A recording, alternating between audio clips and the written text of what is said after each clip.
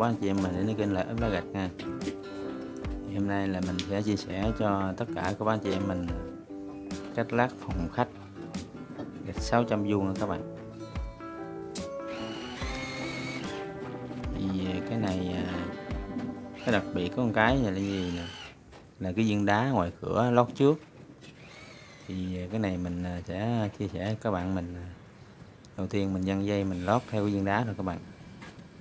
Tại thông thường như đá lót sau bây giờ lót trước thì mình phải dăng dây mình lót ở ngoài đủ vô luôn.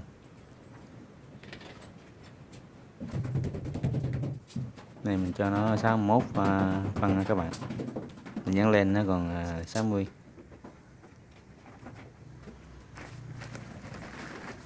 cái à, thông thường này mình thông thường á là cái phòng mình lót cái viên đá ngoài là lót sau các bạn nhưng mà cái này cái căn này là dạng như cái căn dạng thân căn hôi á. Thì ờ, nó phải đặc biệt nó lót cái viên đá trước. Thường thường là gắn cửa cho nó bít. Thì nó, nó này này nó nó cũng uh, hơi khó khăn chút xíu.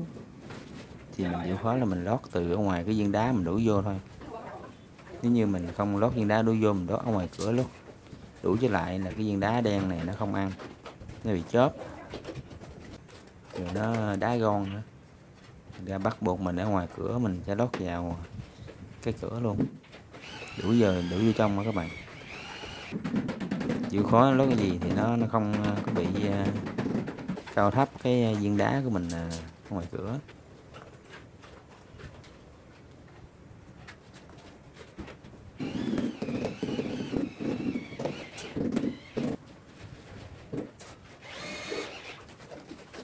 Nó cái viên đá này, nó lót sẵn rồi các bạn. Cho nên đặc biệt mình lót ngoài cũng vô thôi. Cái này là nếu mình chịu khó mình lót mà mình phải trừ hao các bạn. Cái viên đá lót lâu rồi.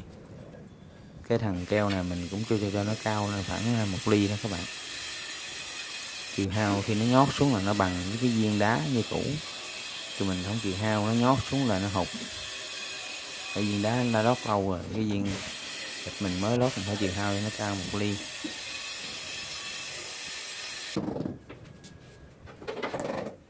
Keo này nó cũng có ờ, nhiều loại lắm các bạn. Cái loại keo này nó không có bị nhót, nhưng mà cái keo này là mình phải trừ hao nó. Tại nó có pha vô nhiều xi măng thành ra nó bị nhót.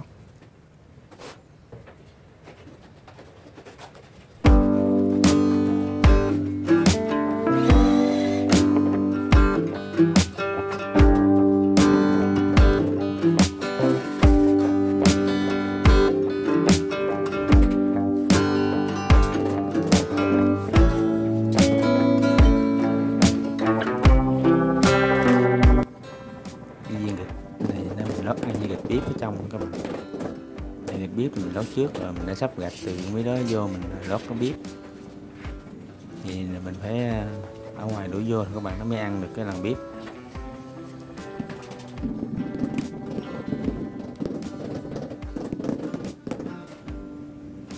Các bạn phải lưu ý cái phần này, tại vì khi mà cái viên đá đen nó đi rồi là mình phải lấy theo nó. Là bắt buộc mình phải lấy từ ngoài đuổi vô còn nếu không không đi không lót á, ở ngoài đổ vô là viên đá mình đã không bằng ke. Viên gạch nó thành cái gì? Nó vô đó là sẽ cao thấp. Cho nên bắt buộc mình lấy từ cái mặt tiền đổ vô.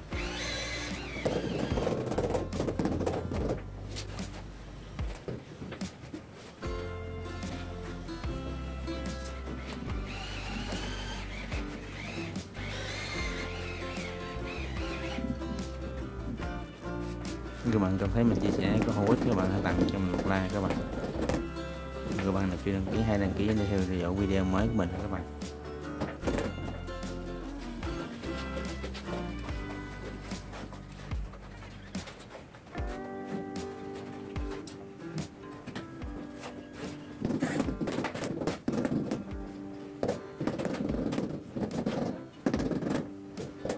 Thì đối với những cái à, loại gạch đá này, đó là bằng đá thì à, nhiều bạn cũng à, chưa hiểu, thắc mắc nhiều cái là ví dụ như gạch đá tại sao mình không à, gạch này tại sao mình lại không ngâm nước? Thì mình sẽ giải thích cái phần này, lý do gạch đá này nó không rút nước các bạn. Cho nên mình không có ngâm nước chứ không mình lót bằng keo nữa.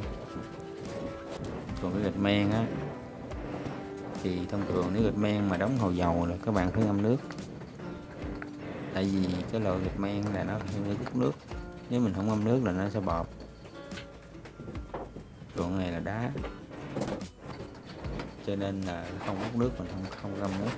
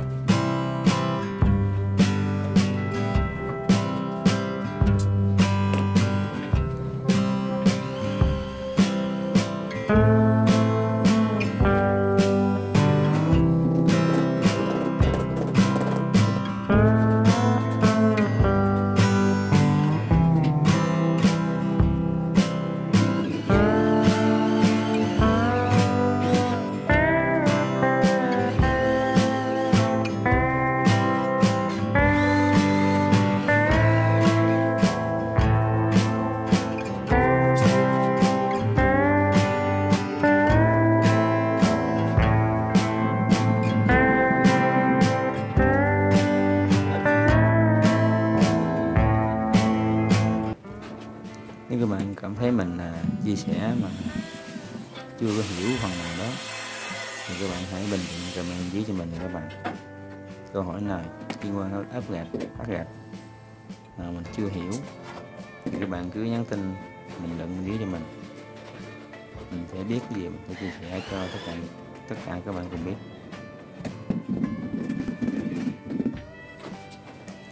Cái à, lưu ý cái phần gạch này nè các bạn. Khi mình lót cái sớ sớ ngang. Hay sớ xuôi thì theo công trình ví dụ như công trình mình đang lót này là cái sớ nó bắn ra ngoài. Thì mình lưu ý, mình quay, nếu mà quay không có cái sớ nó sẽ ngược cái nền, nó sẽ hư cái gạch đó các bạn. Cái ngược sớ là nó phải bắt mình à, tháo ra.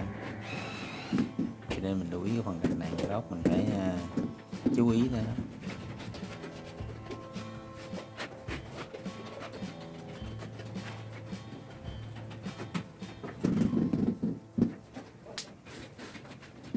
cái này là mình à, cũng à, sử dụng cái bay găng à, cưa đó các bạn.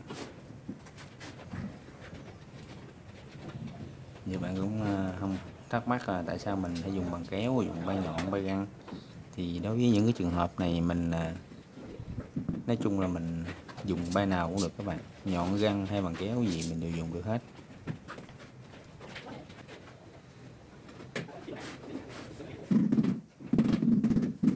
Hơn thua là mình lót mình đã quen đi, mình đã quen rồi thì thần thục hết tất cả. Nhọn găng hay bằng kéo gì mình đều là dùng được hết các bạn. Chỉ cần mình đót chất lượng nó không có bị bọt không chớp, rồi nó không đá ke là được. Mình không cần thiết phải là bay nhọn hay là bay găng, vuông hay là bằng kéo gì cả. Nói chung đóng mà nếu như công trình đóng mà phán là mình làm lẹ cái nào lẹ là mình làm thôi các bạn. Có người quen ba nhọn người quen ba vuông. Còn có người chạy bằng kéo.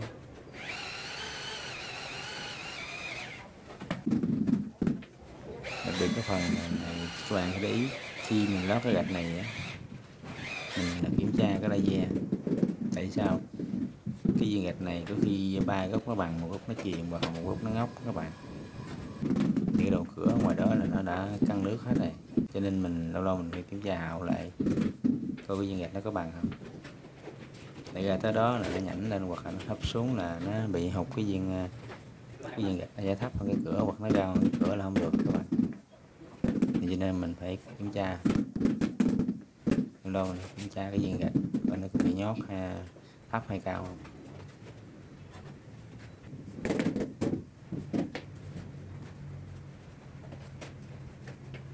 Khi cái viên gạch nó bị thấp đó các bạn. Cho nên mình để con ngựa mình kéo lên, ba gốc nó bằng, một gốc nó bị chìm xuống.